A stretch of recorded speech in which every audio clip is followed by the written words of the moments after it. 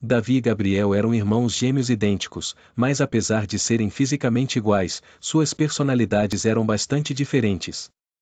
Davi era o irmão mais velho, calmo e introvertido, enquanto Gabriel era mais extrovertido e sempre pronto para uma aventura.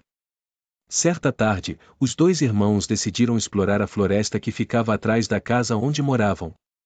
Davi não estava muito animado com a ideia, mas acabou concordando em acompanhar Gabriel. Eles caminharam por um bom tempo até chegarem a uma clareira onde encontraram uma antiga cabana abandonada.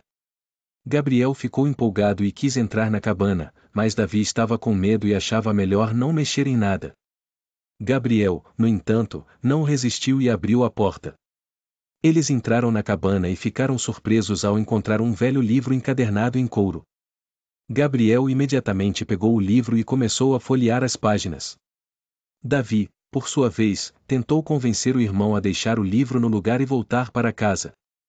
Mas Gabriel estava fascinado com o livro e não queria sair dali sem ele. À medida que folheavam o livro, eles perceberam que havia algo de estranho nele. As imagens pareciam se mover e os personagens pareciam ganhar vida diante de seus olhos. De repente, uma figura sombria surgiu do livro e começou a persegui-los pela cabana. Davi e Gabriel ficaram apavorados e correram para fora da cabana. A figura sombria ainda os perseguia, mas quando eles saíram da floresta, a criatura desapareceu. Depois desse episódio, os irmãos decidiram não mexer mais em coisas desconhecidas. Eles voltaram para casa, devolveram o livro para a cabana e nunca mais falaram sobre o que aconteceu naquele dia. Mas Davi e Gabriel sempre se lembrariam daquele dia como uma aventura que nunca deveriam ter se metido.